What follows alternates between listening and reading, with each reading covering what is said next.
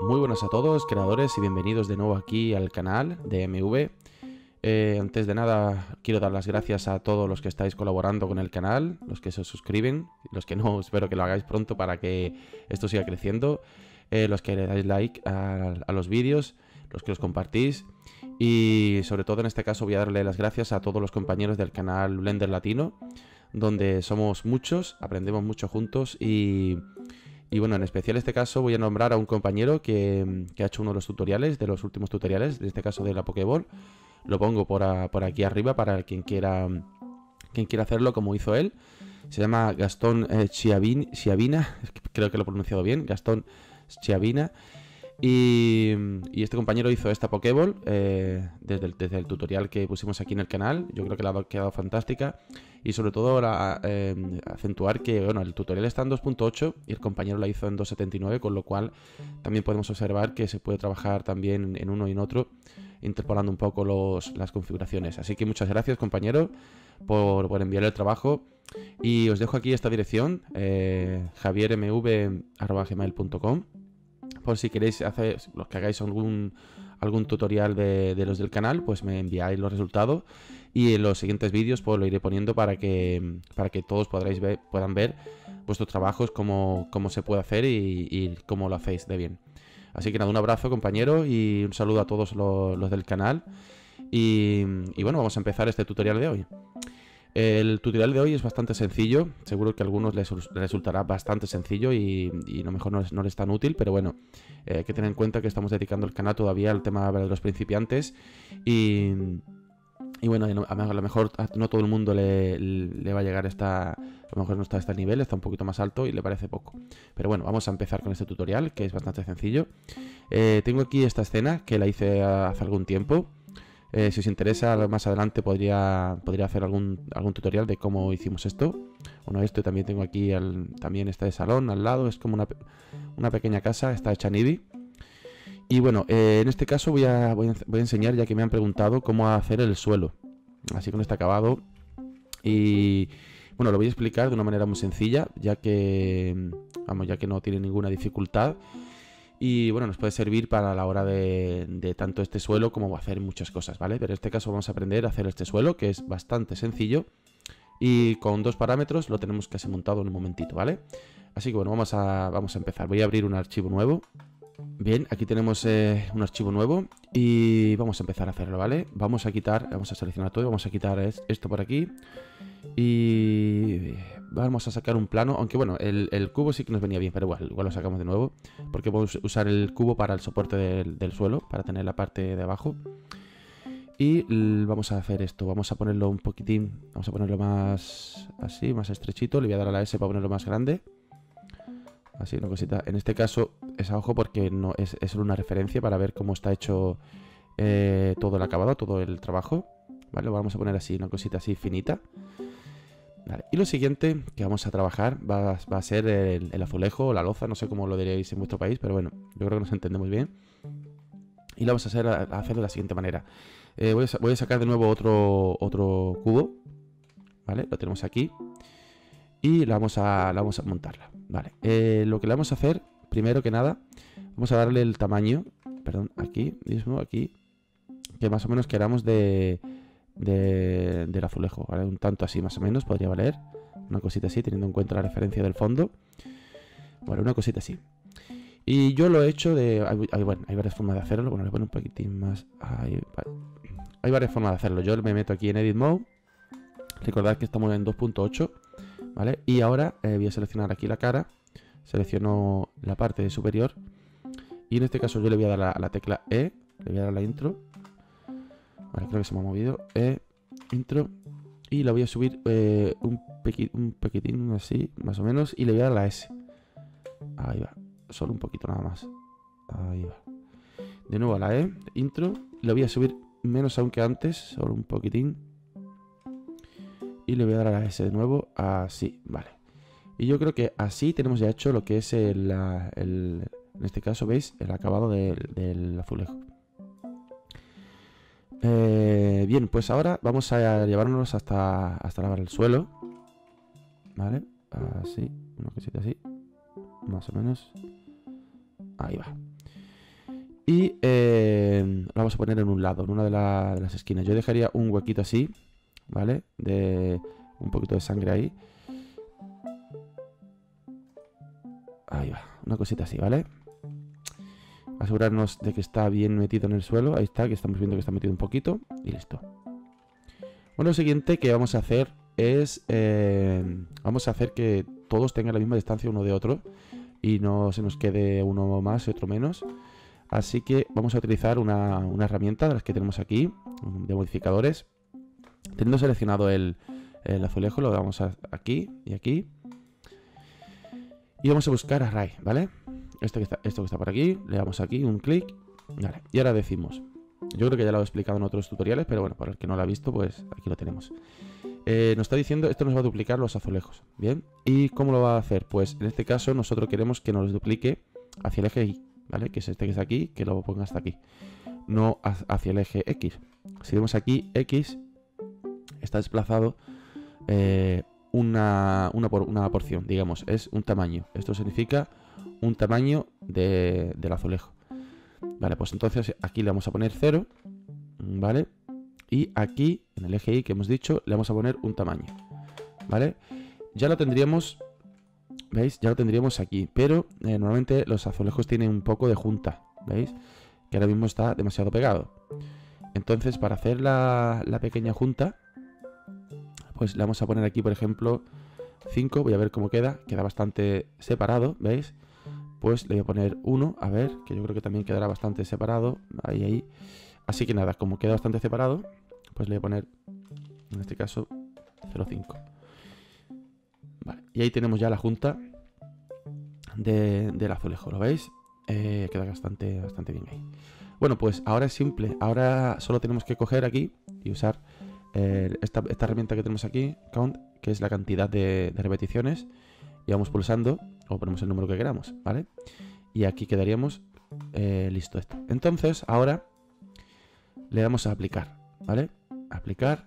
Y ya tenemos hecho esta línea de aquí de, azulejos. ¿Qué vamos a hacer? Pues de nuevo le vamos a dar aquí a modificadores. Vamos a abrir de nuevo array. Vamos, ahora le vamos a dar, queremos en el eje Y, en el eje X, perdón. Pero si veis, en el eje X nos los lleva hasta abajo. Bien, podemos empezar aquí y tirar hacia abajo o bien hacemos lo siguiente. Eh, hemos dicho que era 1,005, ¿vale? Y justo delante, de, justo delante del 1 le ponemos menos, ¿vale? Ay, perdón. Ahí va. Vale, y ya lo tenemos. No, se nos va hacia arriba, ¿vale? Ya os digo, podéis empezar aquí arriba y tirar abajo. Yo la manía de empezar aquí, pero bueno, podemos empezar aquí y podríamos ir sumando. Y eh, pues ahora simplemente pues vamos sumando y ya tenemos listo lo que es el, nuestro suelo. Veis que no, tiene ninguna, ninguna historia. Vale, ahora eh, algunos me dirán, bueno, pues, yo es que quiero eh, que tenga la proporción la típica que va hacia aquí, ¿vale? Que está, que no quedan alineados de esta manera, ¿vale? Pues entonces tendremos que seleccionar aquí en Contact Offset y aquí en I, a ver, aquí en I creo que habría que ponerle 1, ahí va. Y poniéndole 1 ya tendríamos este, este sistema, ¿veis? De, azulejos. Pues si queréis ponerlo en una pared y hacer este, este sistema, ¿vale? Yo en este caso lo voy a hacer de, como hemos dicho, y lo voy a, seleccionar aquí. Y como hemos visto antes, lo voy a hacer de esa manera. Vale, pues ya tendríamos eh, nuestro, nuestro azulejo listo. ¿Vale? Nuestra placa de azulejos listo. Ahora vamos a trabajar con los materiales, ¿vale? Así que lo que tendríamos que hacer es eh, guardar esto y llevárnoslo a, nuestro trabajo. O bien, si vamos a seguir trabajando aquí, pues nada, seguimos trabajando aquí. Pero bueno, vamos a trabajar en el, otro trabajo, así que nada, me voy a llevar todo esto allí, como hemos visto antes, y allí nos vemos. Bien, pues ya estamos aquí, aquí lo tenemos el suelo puesto. Pero si veis, está puesto sin, ningún material, el material que teníamos, solo hemos activado el motor, el motor EV. Hay que tener en cuenta que tenemos aquí alguna iluminación bastante ya trabajada, por ejemplo, esta del exterior, esta por aquí está por aquí, esta de, la, de las lamparitas de aquí pequeñita. Bueno, que ya tenemos hecho ya un poco de iluminación, pero no está no están los efectos activados, así que no queda del todo bien. Pero bueno, vamos a, trabajar primero esto y ahora ya lo cerramos. Eh, bueno, ya tenemos aquí listo. Si seleccionamos, vemos que está todo agrupado, que es lo que nos interesa para eh, trabajar con todos a la vez, ¿vale? Porque es la idea, a no ser que queramos que estén separados, que ya habría que hacerlo de otra forma. Pero bueno, vamos a darle un color a, a estos azulejos y un acabado. Primero le damos aquí el nuevo material, en este caso, bueno, yo lo voy a hacer de una manera, hay millones de formas, como sabréis, pero bueno, yo lo voy a hacer de una manera facilita para que quede un acabado bueno y, un resultado curioso. Vale, ya tenemos esto aquí y ahora nos podríamos venir aquí a la rugosidad y, bajarla para que tenga un, cierto brillo. Pero veremos que todavía no está, sí, brilla, pero no está, no está del todo, vamos, no está del todo real. ¿Veis que aquí, aquí se ve la, luz, que si le damos a rugosidad, esta luz, veis, se va difuminando. Ya es cuestión de cómo queráis. Entonces, vamos, lo voy a dejar un poquito así más o menos. Y vamos a añadirle algún efecto. Pero antes le voy a dar algún color, ¿vale? Le voy a poner, por ejemplo, esta vez le voy a poner en rojo para que lo veamos bien cómo queda. Y aunque quede feo el, suelo en rojo, bueno, a algunos les puede gustar, no hay, gusto para todo. Eh, vamos a hacer la prueba así, ¿vale? Así que nada, eh, nos venimos aquí a esta opción de aquí, de render. Y vamos a activar algunas opciones de aquí, algunos efectos, ¿vale? Por ejemplo, yo tenía este, es muy importante, el uno el, más importante. ¿Veis? Este suelo ya parece que está, que le hemos dado un, un buen fregonazo y está brillante, brillante. Este es el más importante. Y yo le daría también a Ambient Occlusion, ¿vale? Las configuraciones podéis poner esta que tengo yo aquí, ¿vale? Eh, como queráis, esta o bien eh, ir jugando a vuestro gusto. Vais probando, como siempre ya os digo, yo pongo esto aquí, ya vosotros eh, experimentáis como queráis. ¿Vale? Y después yo también pondría un poquito de bloom, ¿vale? Que también, ¿veis? Lo tengo aquí con estas opciones, ya vosotros, como siempre. ¿Veis? Que me queda aquí, está acabado. Y queda bastante bien. Le voy a quitar las líneas, aquí veis. Queda bastante, bastante chulo todo.